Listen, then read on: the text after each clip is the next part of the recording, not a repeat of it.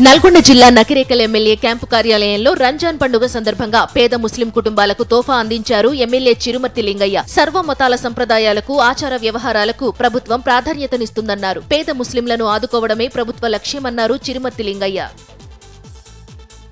ఖమ్మం జిల్లా చీమలపాడు ఘటనలో మృతుల సంఖ్య నాలుగుకు చేరింది. ఈ ప్రమాదంలో కుట్ర కోణం ఉందా లేదా అనే కోణంలో పోలీసులు దర్యాప్తు చేస్తున్నారు. ప్రమాదం జరిగిన స్థలాన్ని పోలీసులు స్వాధీనం చేసుకుని ఎవరినీ రానివ్వకుండా క్లూస్ టీంతో దర్యాప్తు చేస్తున్నారు.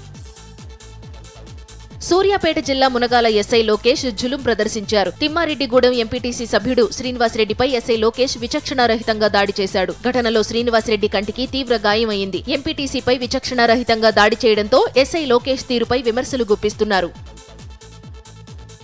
హైదరాబాద్లోని జూబ్లీహిల్స్లో రోడ్డు ప్రమాదం చోటు చేసుకుంది. Jubilee Hills road number thirty six వద్ద టర్నింగ్ తీసుకుంటున్న కేటీఎం బైక్ను రాంగ్ రూట్లో వస్తున్న షేక్ అలీ ఢీకొట్టాడు దీంతో కేటీఎం బైక్ పై ఉన్న ఇద్దరు సోదరుల్లో సత్యసాయి మృతి చెందగా తిరునాదిత్య తీవ్రంగా గాయపడ్డాడు. వీరితో పాటు షేక్ అలీ కూడా చికిత్స పొందుతున్నాడు.